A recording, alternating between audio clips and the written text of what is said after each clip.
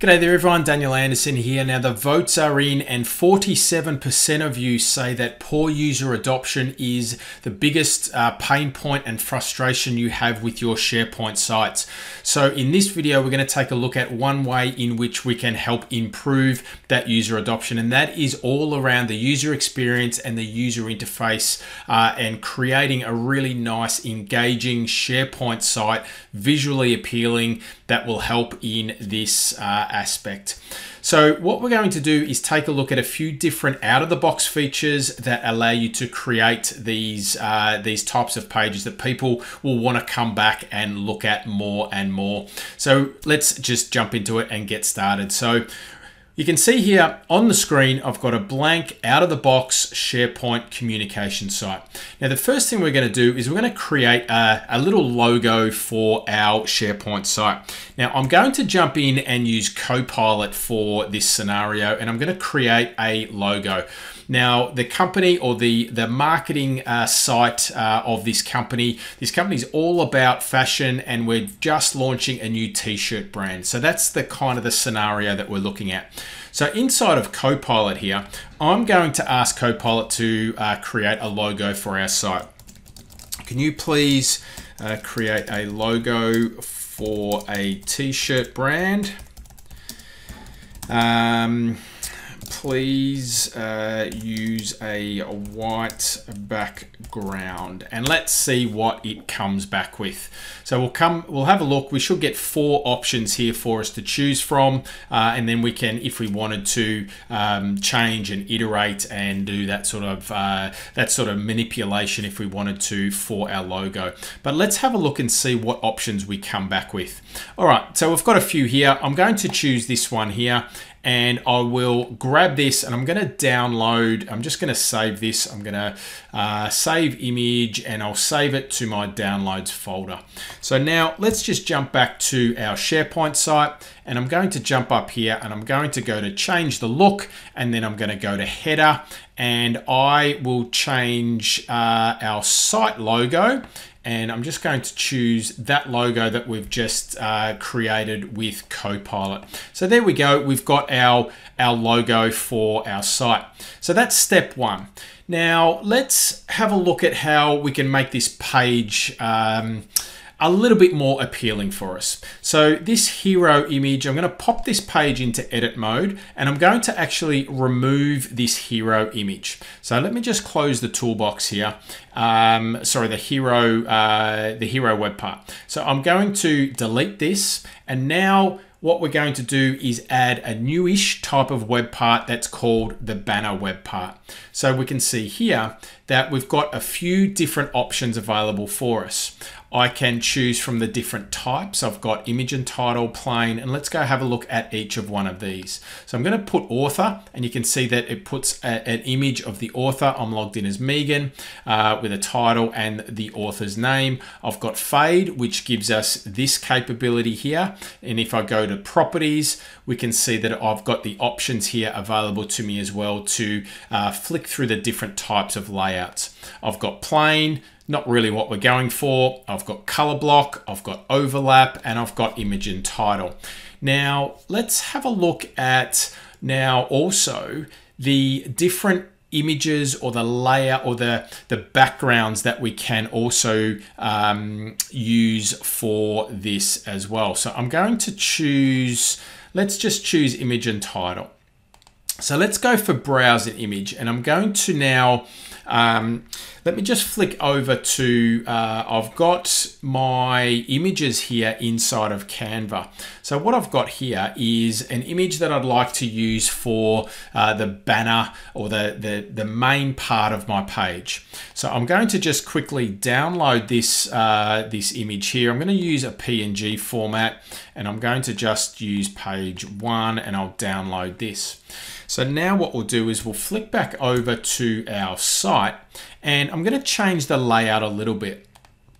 So what I'm going to do is rather than keep this as a full width column, I'm going to uh, remove this. I'm going to remove this section and I'm going to add a new section and I'm going to choose one third right.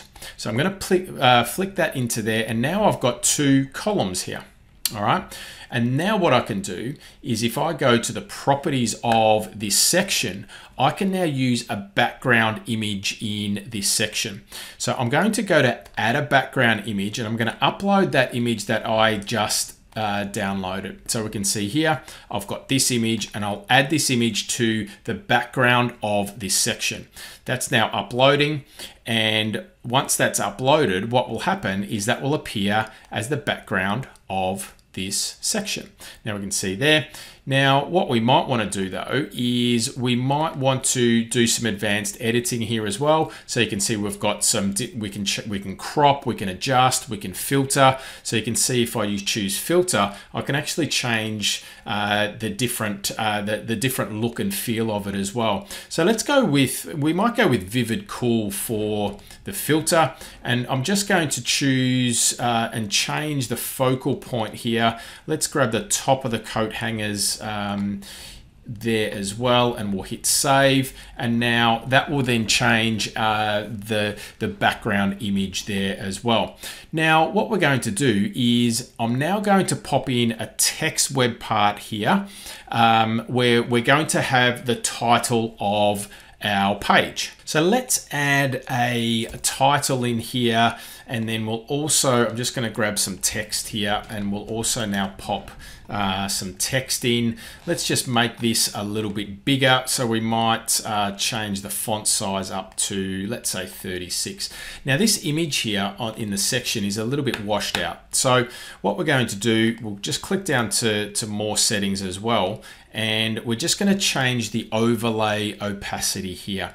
So let's just remove uh, and make this a little bit lower. And now we're looking pretty good. We might just make this a little bit uh, the, the, font a little bit more. So let's jump up to uh, to 42 so that's looking nice all right? So now we've got our banner uh, which is a, a lot better or more visually appealing for our page now, the next part of this product line, we're going to add a new, another new section here, but we're going to have, I want this to be more uh, and, provide three uh, big key images for me. So what I'm going to do is I'm going to move this into a three column layout like so, and then I'm just going to pop over to edit properties. Um, and you can see I've got the same properties here uh, as we would if we were um, were changing the layout to, to any other section. So now what we're going to do is I'm going to add an image and I'm just going to duplicate this image web part and we're just going to use that across the three columns. So we'll duplicate, duplicate, and now we've got this layout where I've got my uh, three image web parts. Now, let's grab some images and create some images to put in to these, uh, these web parts. So again, I'm just going to jump back over to Canva. Now I've got some, I've got three images here pre-prepared. Uh, they're um, they're 1080 by 1080 uh, in dimension, whereas this image here that I use for the banner is 1920 by 1080. So there's some dimensions there for you. So I'm going to download each of these. So let's go download. I'm just going to uh, download image one first, and I'll do all of these at the same time. We'll download, uh, now we'll go to uh, image two, and then again, we're going to download image number three. And now we've got our images that we want to use for our thumbnails or our placeholder images. So here, I'm going to go to browse image. I'm going to upload and we'll grab this image here. We'll use that in this web part. We'll then grab another image that we down that we created. We'll choose this white one here and then we'll jump in and we'll upload the third image and it is that image right there. So now we've got our three images. Now, another thing that we can do here is we can use on the right-hand side, uh, the, the right-hand side panel, is we can use our design ideas. Now, as you can see here, we don't have any design ideas uh, available to us at the moment. So we'll come back to that in just a sec. Now what I'm going to do, I'm going to also add some text web parts to uh, this particular uh, section. So let's go and duplicate these because what we might want to do is just have a little bit of information about our uh, about our images underneath here. So now that we've got some uh, some text, you can see that what SharePoint now does, and this new design ideas, is give us a few different layout options instead of just the stock standard. So let's have a look at a couple of these. So if I select this design idea, you can see that we've got different uh, a different layout option. So it's not just uh, in in line, and you can see that now here's the inline version. Uh, and if I keep scrolling down, we've got one with a background image and another one with a, a fairly louder background image there as well. I might just stick to this one here. So now we've got our headline, we've got a little bit of information, and we've now got our three uh, images that are appearing on our page. Now, what about some videos? We've got some promotional videos that we also want to display. So let's now, I'm gonna just delete and remove the news web part, the events web part. Uh, we're gonna leave the quick links web part because we're gonna use that uh, in just a minute. But I'm going to now, again, use a three column uh, layout here uh, where I'm going to now use the stream web part. So I've got a document library that is also in this uh, in this site, and I've got a folder called promo videos. So I want to display these promo videos in uh, on this homepage. So we're going to use the stream web part three times. And what that allows us to do is uh, a couple of things. So in the properties of the stream web part, you can see that we've got different sources. So we can go videos on this site, a folder, a playlist, or a single video. Now, because we've only got three in that library, we could actually just choose folder, but I do want to choose a video. I want to, I want to specifically choose a, a particular one. So I'm going to say I want the office style uh, in this video. In this one here, I'm going to choose another single video. Again, the same folder. So we'll jump into promo videos. We'll choose this one as the middle. And then on the left-hand side here, I want to change this one to the third promo video that we do have. So we'll jump in here and it's the t-shirt rack. So now if I republish this page, what we'll see is our new layout. So we can see we've got our uh, banner with our background image. We've got now uh, three images with some uh, headline and some, some text. And we've got our video, our promo videos that can now just get played directly in line on the page. But let's uh, break this page up a little bit more. So on top of our videos, what we're going to do is I'm going to add a one column section here. Actually, we might do a full column section. And we're going to add a banner. Now, in this banner, we are going to leave this as, um, let's just close this.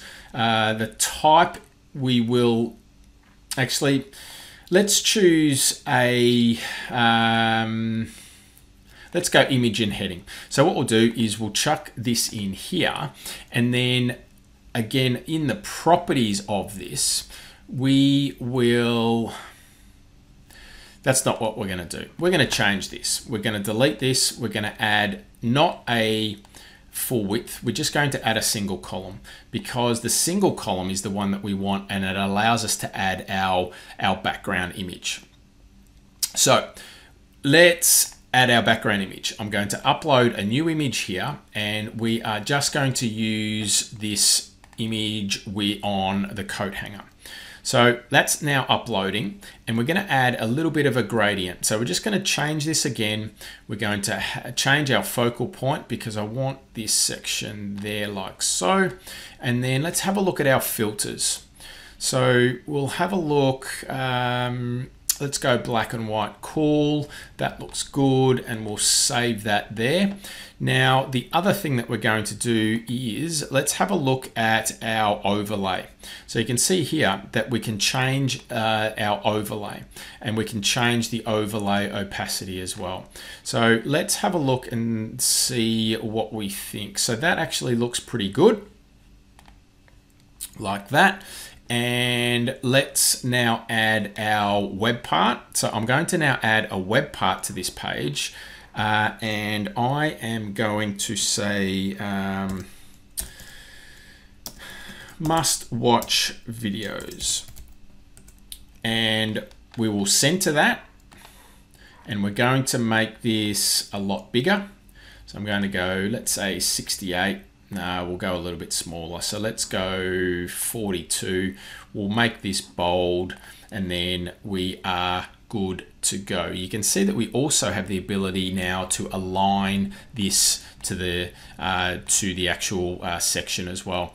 So let's now republish this and have a look at what we've got now. So we're republishing and now we now have our uh, our banner, our images, we've got another banner here, and we've got our videos. Let's adjust these headings because they're a little bit big for us. So what I'm going to do is I'm just going to choose this. Let's just reduce this down to maybe 32. We'll go down to 32 as well. And again, let's just pop this one down to 32 as well. And now we've got them all on one line. Let's republish. We'll have another check. Uh, and the last thing we're going to do is we're actually going to now add a, a another quick links or a, like a dashboard type of uh, type of setup. And we're going to use the quick links. So down here, we've actually already got this quick links web part uh, in this in this section. So this here, we will choose and we're going to create um, a little uh, employee benefits and perks, right? Employee benefits and perks uh, with the new launch.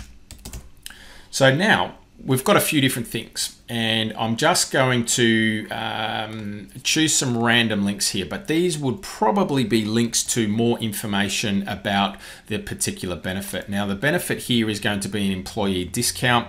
I will choose from our library. So I'm going to choose uh, let's go for, uh, let's see if we've got a discount, which we don't. Let's go a tag and that looks pretty good. And we'll pop that in there. We're now going to add another one, which is a clothing allowance benefit. So we're going to insert that. We'll go to our library again, and this time we are going to choose uh, some money and we'll choose that.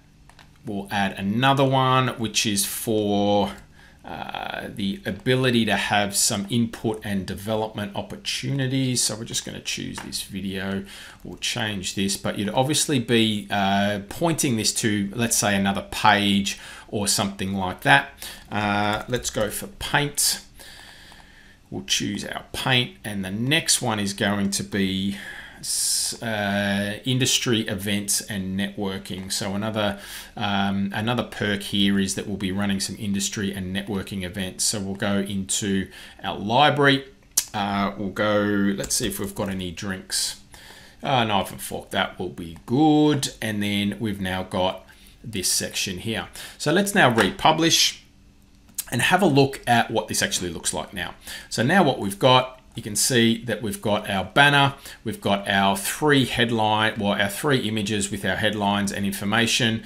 We've now also got uh, must-watch videos, our three videos, and we've also now got a little, uh, a, a, now a little uh, dashboard down here.